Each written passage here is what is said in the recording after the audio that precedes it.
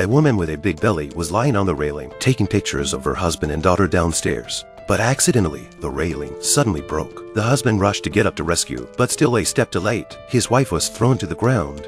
Luckily, he was able to get her to the hospital in time, but only one of the twins survived. I thought they could live happily ever after, until the day the man came home to find the house in a terrible state. His wife and daughters were gone, and the safe in his room had been ransacked. At that moment, he found that the parcel delivered in the morning had been opened, and a photo inside caught his attention, which showed his wife with two strange men. While the man was puzzled, his cell phone suddenly rang.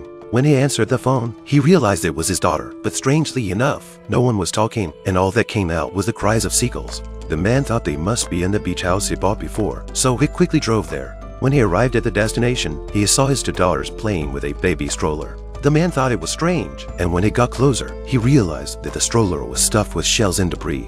When he lifted them out, he found that his youngest son had lost his vital signs, and the man was devastated by the sight. After adjusting his emotions, he came to the house and asked his wife what was going on. But at this time, the wife seems to have a seizure. She no longer recognized the man in front of her. The man had no choice but to take her to his mother-in-law to understand the situation. After a conversation, the man learned that his wife was not suffering from postpartum depression, but when she was 14 years old, she suffered a violation of the schizophrenic disease. The man had to send his wife home to rest first. He didn't expect his neighbor to sneak into his wife's room that night when the man wasn't there.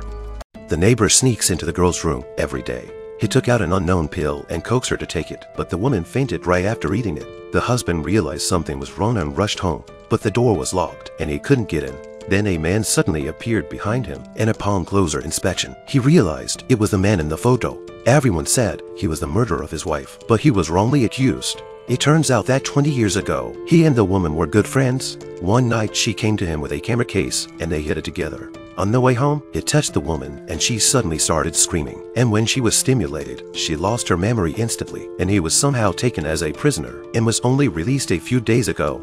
He realized that the box he had hidden before was still there, so he took it out and sent it here. He hopes that the woman will see these photos and recall her previous memories and come forward to prove his innocence. He also took out a few photos and told the man that there was evidence of the murderer. It turns out that the ring in the murderer's hand was accidentally captured during the photo shoot, and this ring is exactly the same as the ring in the neighbor's hand. The man went to the neighbor's house with the evidence. Seeing that things were getting out of hand, the neighbor took out his pistol and was ready to kill the man.